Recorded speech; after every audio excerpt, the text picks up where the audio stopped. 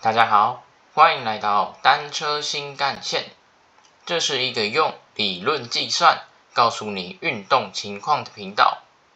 这部影片要来讨论跑步的经济性跟触地时间，还有垂直振幅的关系。首先，我们先来定义跑步的动作。跑步的动作就是只有一只脚会在地上，然后有一段的时间两脚会离地。所以跑步的垂直振幅是必要的存在。当然，垂直振幅也不能够太大，因为跑步主要是看往前的步距，而非看往上的高度。不过，垂直振幅如果越高，那将脚由后往前的这个时间也就越多，也就是这段时间的功率就会越低。但是，单纯从跑步的力学分析来看，如果垂直振幅越高，那也会需要做更多的功。另外一个就是触地的时间，那这两个变数是有在练跑步的人会关心，而且希望缩小的。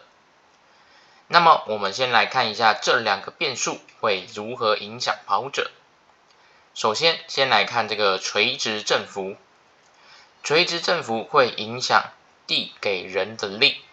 如果触地时间相同的话呢，垂直振幅越大，那么来自于地板的冲击力就会越高。这个时候就要来看看这个触地时间会怎么变化。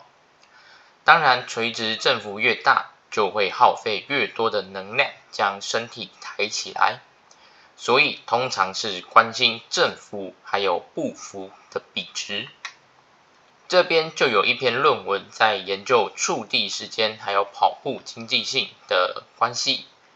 总共招募四十位受试者，依照这个触地的时间分成两组，然后每一组都是十二男八女。详细的资料就如这张表所示。那这个 D F 的定义呢，就是一只脚的脚跟着地到脚尖离地的时间，和同一只脚从前一次落地到这次落地所花的时间，然后两者的比值。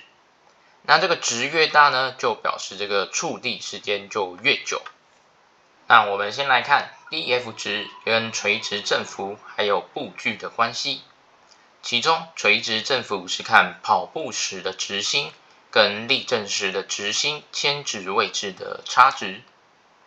那这个空心的是 D F 值比较低的，然后实心是 D F 值比较高的。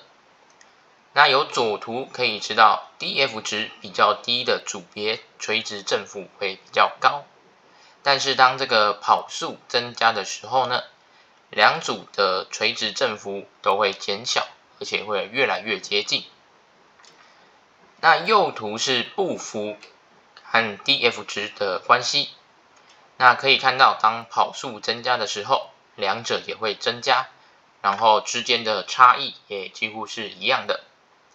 那通常来说，跑速越快，步距就一定会越大，而步距越大。就表示两脚所张开的角度也会越大，所以直心的垂直位移就会越小，这个是必然的结果。那再来看跑步速率跟 dF 值的关系，可以看到当跑速越快的时候呢，两组的 dF 值也越来越小，然后差异也越来越小。那这个是因为跑得越快，施力就要越大。所以在跑步的动作下，跑越快，触地时间越短，这个也是必然的结果。主要是因为跑步一定要有双脚离地的步骤。那再来看看跑者最关心的跑步经济性。对于不同 dF 值在相同速率的情况下，可以看到这个经济性几乎是没有差异的。也就是说，在相同的速率下。在这论文研究的 dF 值内，跑步的能量消耗是不会有太大的差异的。那另外也有一篇论文在研究跑步的经济性与垂直振幅还有 dF 值的关系。那一样在跑速是十、十二、十四的情况下去做研究。